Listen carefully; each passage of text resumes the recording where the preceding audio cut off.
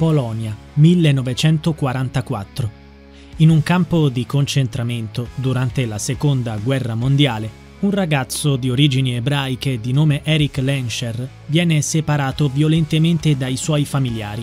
Si tratta di un mutante e la sua collera arriverà a contorcere il cancello di metallo che lo separa dalla madre, trascinata all'interno del campo. Eric, disperato, è trattenuto dai soldati nazisti.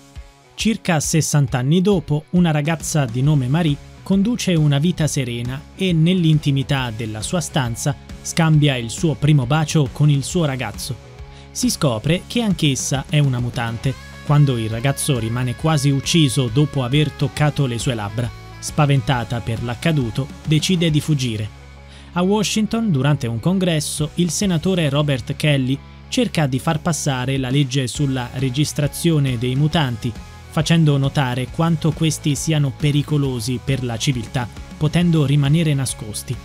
Nonostante il parere contrario della dottoressa Jean Grey, la popolazione sembra supportarlo a tale confronto presenzia anche un ormai anziano Eric Lenscher, il quale viene avvicinato dal professor Charles Xavier, che scopriamo essere suo vecchio amico e che tenta di scoraggiarlo dall'iniziare una guerra tra mutanti e umani. Ma Lenscher, memore delle persecuzioni da lui subite dai nazisti verso gli ebrei, teme il ripetersi di una situazione analoga verso i mutanti ragion per cui rimane fermo nelle sue convinzioni sull'innescare un conflitto. Intanto Marie arriva in Canada dove incontra in un bar l'ambiguo e solitario Logan, un mutante con capacità rigenerative e di far emergere degli artigli dalle proprie mani che negli incontri di lotta clandestini a cui partecipa viene soprannominato Wolverine. I due fanno amicizia, ma vengono fermati da un energumeno di nome Sabertooth che attacca Logan con cui sembra condividere alcuni poteri. L'arrivo di altri due mutanti, Tempesta e Ciclope, mette in fuga il bestione e questi salvano sia Marie che Logan. Logan si risveglia alla X-Mansion, una scuola privata per giovani mutanti, dove incontra il professor Xavier. Questi gli spiega di essere anch'egli un mutante, un potente telepate e che ha costruito una scuola per giovani dotati allo scopo di insegnare ai ragazzi ad usare al meglio i propri poteri, anche dal punto di vista etico. Wolverine fa la conoscenza del gruppo degli X-Men, mutanti odiati da quegli esseri umani che loro stesso difendono. Scott Summers, alias Ciclope, il leader del gruppo, che può emettere potenti raggi dagli occhi. Ororo Munro, alias Tempesta, che può comandare gli agenti atmosferici, Jean Grey, fidanzata di Scott, telecineta, è dotata di enormi poteri telepatici di cui lei stessa ignora le potenzialità. Charles spiega quali sono i poteri di Marie, soprannominata Rogue. Ella può assorbire i poteri degli altri mutanti, ma i suoi poteri sugli umani hanno invece l'effetto di assorbire la forza vitale e la memoria. Xavier spiega a Logan che c'è anche un gruppo di mutanti malvagi, conosciuto come la Confraternita, e di cui fanno parte Eric Lenscher, alias Magneto, suo ex amico che può manipolare i metalli, Victor Creed, alias Sabertooth, potente bestione primordiale, Mortimer Toynbee, alias Todd, un ranocchio umano, Raven Darkholm, alias Mistica, una mutaforma. Secondo Xavier, Magneto vuole qualcosa da Wolverine e chiede al mutante di combattere al fianco degli X-Men promettendogli di rivelargli tutto sul suo passato, di cui Wolverine non ha più memoria. Rogue, intanto, inizia a frequentare anche lei le lezioni alla X-Mansion e qui conosce John Allardyce, un giovane mutante con poteri pirocinetici, e Bobby Drake, in grado di manipolare il ghiaccio, dal quale rimane attratta. Il senatore Kelly, nel frattempo, viene rapito e portato nel covo di Magneto sull'isola di Genosha, dove questi gli mostra un macchinario da lui ideato che è in grado di trasformare gli umani in mutanti. Kelly viene usato per testare la macchina che gli conferisce la capacità di rendersi liquido.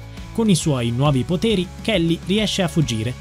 Quella notte Rogue sveglia Wolverine mentre sta avendo un incubo sul suo passato e in quel momento Logan si sveglia, trafiggendola con i suoi artigli Rogue però riesce ad assorbire per un breve momento i poteri rigenerativi di Logan, salvandosi la vita. Poco dopo Mystica, assumendo le sembianze di Bobby, le rivela che Xavier è arrabbiato con lei e che dovrebbe lasciare la scuola.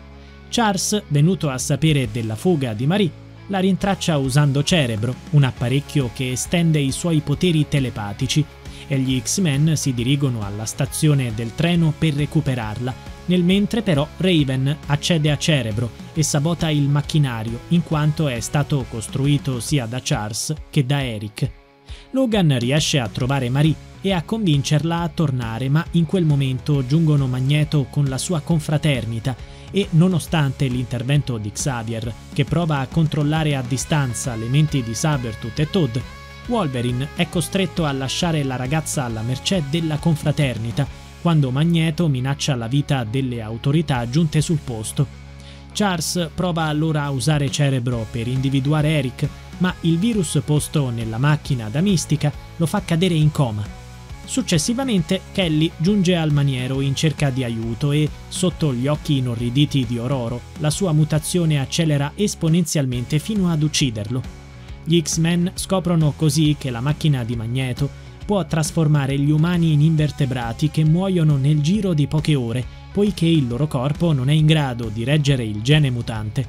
Wolverine capisce quindi che in realtà Magneto vuole Rogue per sfruttare il suo potere Usare la macchina lo ha quasi ucciso, pertanto Eric vuole passare i suoi poteri a Rogue e usarla per dare energia alla macchina.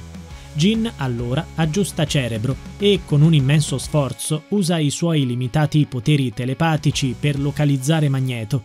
Egli si trova sulla Statua della Libertà, dalla quale potrà attivare il suo macchinario e mutare milioni di persone nel centro di New York, tra cui tutti i potenti della Terra riuniti ad un summit per l'approvazione della legge sulla registrazione dei mutanti.